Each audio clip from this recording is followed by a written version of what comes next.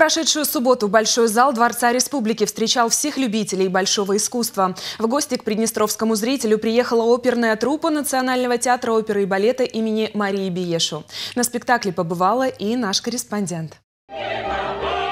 На Приднестровской сцене вновь артисты из Кишинева. На этот раз они приехали с оперой Евгений Онегин.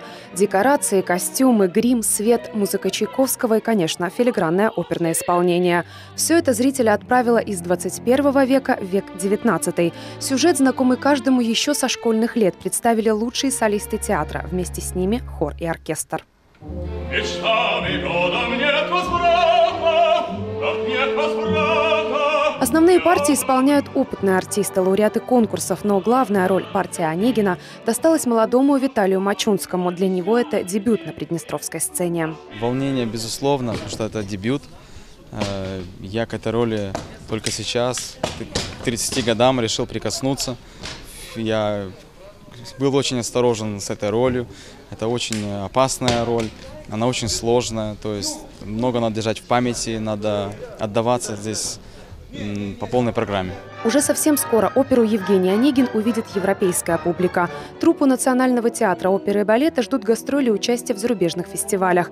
Там отмечают артисты и режиссер театра. Они надеются получить такой же теплый прием. В общем, конечно, вот слава богу, что все прошло хорошо. Мы очень верили в то, что все пройдет хорошо. Надеемся. Теперь предстоит у нас этот спектакль вести в Румынию на фестиваль в Краево. Вот. И думаю, что там тоже мы не ударим лицом в грязь. Замечательная публика. Мне очень понравилось. Тепло принимала. Это главное. Главное, что была отдача, что чувствовалось, э, что то, что мы исполняем, то, что мы несем, оно встречается благожелательно и доброжелательно. А уже в эту субботу, 17 октября, Дворец Республики вновь будет встречать гостей из Кишинева. На этот раз балетную труппу со спектаклем «Кабелия». Мария Пантази и Денис Гуляев. Первый Приднестровский телеканал.